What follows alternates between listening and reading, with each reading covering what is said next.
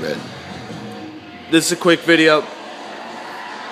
What happened was this guy over here, Brazilian Jiu Jitsu, Him? learned from that's judo. And so this one came first. Obviously, you could tell by the picture, right? Right. Okay, now. First it was judo, then came jiu-jitsu, then it went back to judo. You know why? Because judo was a pre-existing sport.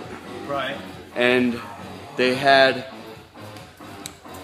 the idea that as a sport you have athleticism. So it's not just technique. And uh, now it's been um, actually there's no more secrets. Everybody knows you have to be in shape.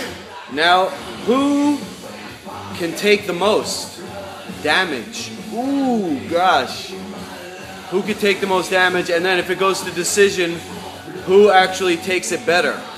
If you saw the last fight between Carlos Condit and Robbie Lawler, Robbie Lawler actually took more damage, but they voted for him because he took it better. Carlos Condit looked like he was getting knocked all around, and uh, Robbie Lawler just took it. And we're at Alpha Omega right now in Rockville Center. This is my second video of the day, and uh, this place is great. They got the MMA mats. Alright. So my challenge to Crazy Chris still stands. I did say I was going to come out there. So next Sunday's in Lindenhurst. But we'll be back here every month. And if you're into MMA, I challenge you right now, come and face me. I'll be back.